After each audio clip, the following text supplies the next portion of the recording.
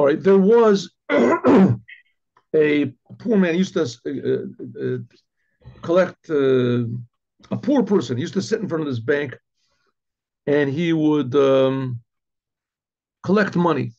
Collect money people would give him you know quarters dollars whatever it was. And the end of the day he would um, go to the bank and he would deposit a bag in the bank. He had he had a a uh, what do they call it? A, a, a, drawer in the bank. What do they call it? A, a, safe deposit box in the bank. And he would bring this small bag, and he would deposit it there. And he would early in the morning would come and get this bag out. Come and take the bag out. So everybody assumed that he took the money that he had gathered up and he would put it in the bank. Probably a not normal guy. How much money could he have gotten every day? You know, he collected $10, $20, how much? $100. And he had a special uh, the, the, deposit box, not, not a deposit box, a safe a safe box in the in the in the bank, and he would put his money. He would put the money in there. That's what everybody figured. Anyway, once there was a strike. There was a strike in the bank, and the bank was closed. He came in the morning, and he wanted to come in to get the money out. So the, there was a guard at the door. He said, "We're on strike. Nobody's here." so he said, "I must have that bag. I have to have that." said, "Listen, you know, what, what can we do? You know, we can't. I can't open the bank for you, it, we, we, it was announced in the radio, announced everywhere. We called people up, told them that there's going to be a strike. Probably the strike will be over in a couple days. You don't have to worry. You'll get your. No, no, no. I must have it now. I must have. And so he said, "I'm sorry, you can't have it. I have to have it." I made a big ruckus. and the, the, the, police came. I guess the police on the street. What's wrong? He says the man insists he has money. I want his. Uh, they tried to convince him. No way. So the guard that was there had mercy on this guy. So I said, listen, tell me how much money there is in the bag, and I'll give it to you from my pocket, and you'll pay me back afterwards. You know, how much could there be? he said, it's not money. it's tefillin. I want my tefillin. I want you to open up. So the, the, the guard says, for a pair of tefillin, listen, go down to the store. God, there's a synagogue over here. I happen to, the guard happened to be Jewish. So listen, I'm not a religious Jew at all, but I know there's a, the rabbi who's down here in the big synagogue.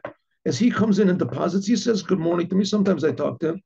You can go to him. You go over to him and and and talk. I think I even have his number. Said no, I want my tefillin back. And he started making a big noise and a big this. He said I want it back, and he started crying and he wanted his tefillin back. So I mean, he wasn't making any trouble. He wasn't you know threatening anybody. So the guard felt really bad for him, you know. So he called up, he called up his manager, and he saw the manager came and they tried to explain to him. He said, "No, there's no way. I'm going to. I want my tefillin."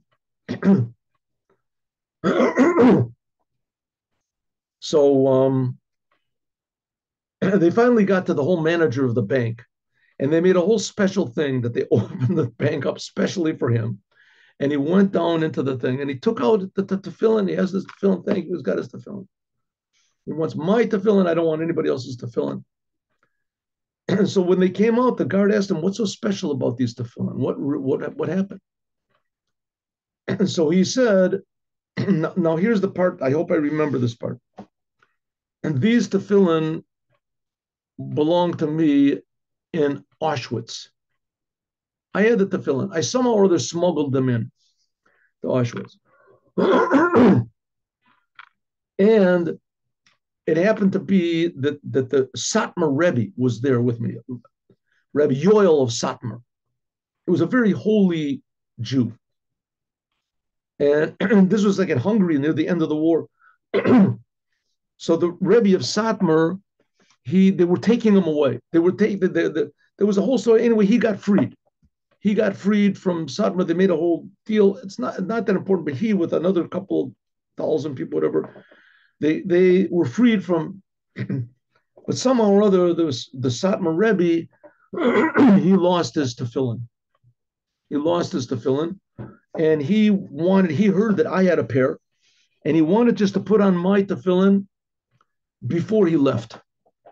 Before he left, because they were taking him away, and they heard that I had this pair of tefillin, or everybody uh, they knew that I had a, pair of tefillin anyway. He sent a special boy to take the tefillin from me. He promised he would just put them on, and then he would send them back immediately. And I said, okay. And he's he put the tefillin on. It, it, I, I, gave him the tefillin, and five minutes after I gave him the tefillin, there came a big commander, and they took us away from Auschwitz. They took us. They moved us to another place, a work camp. And it must have been that the boy came back and he saw that I wasn't there, and they told him that he took him. what Took it. And so the Satmar Rebbe held on to these tefillin, and he put on the tefillin every day. And meanwhile, he was looking all the time. He was looking around for me. How could you possibly find? It's like finding, you know, more than a needle in a haystack. First of all, if there's a needle in a haystack, at least you know that the needle is there. Here, he doesn't even know, didn't know if I was alive. He didn't know where I was. I think he knew the person's name.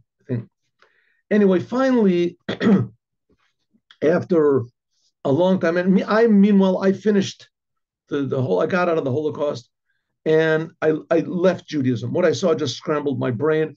And I just, you know, I, I basically left even being a human being for a while. And, then I got these tefillin back. The tefillin back. The tefillin. What? How did I get them back? That they searched for me. One day, somebody knocked on my door and said, "Is your name such and such?" And I said, "Yes, it is." He said, "This is the Satmar Rebbe had put these tefillin on all the time. I don't remember if it was after the Satmar Rebbe passed away or not, because he used to put these tefillin on every day. I think in addition to his regular tefillin that he had, but he used to put on these tefillin every day. And he's, he's holding these tefillin, and he wants you, he, he, he, they're precious to him, and he wants to give you a big thanks for what you did. And these are the tefillin that the Satmar Rebbe put on.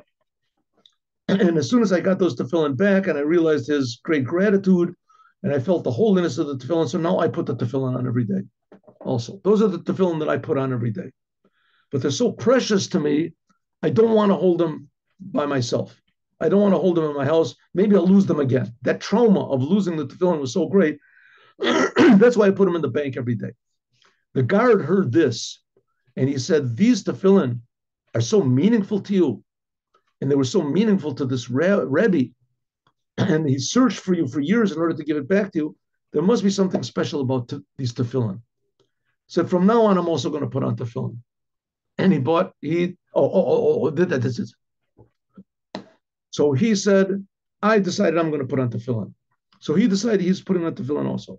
When this man, the, the, the one who used to collect money, he passed away. so he had a, a, fortune of money that he had collected and he just never used it.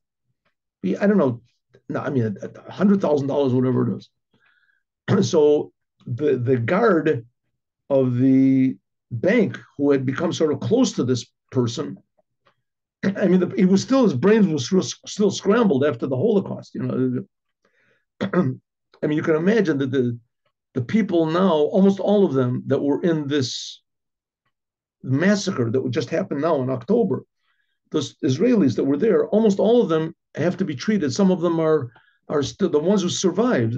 They have to be treated, and they just saw, you know, a few hours of these horrible things. I mean, there certainly were, you know, atrocious things, but imagine people that saw this every day for years. I mean, it's just, and only because they were Jews. There was no other reason why. anyway, so he was anyway when he passed away, so he left all this money, and I don't. Re- I think that it was he left the money as far as I remember in the story. He left it to the guard, and the guard took all the money and he bought with it tefillin to give tefillin to people who needed it, and this would because of this pair of tefillin. So it ended up that there were hundreds of pairs of tefillin that were now being used by people that needed them.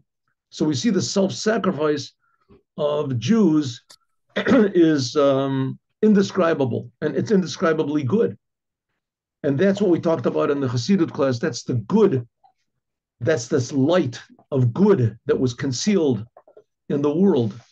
This good that nothing can possibly extinguish. And it's found in the commandments, in the physical commandments. Have a good Shabbos with Mashiach now. God willing, we'll meet together on Sunday, 8.15.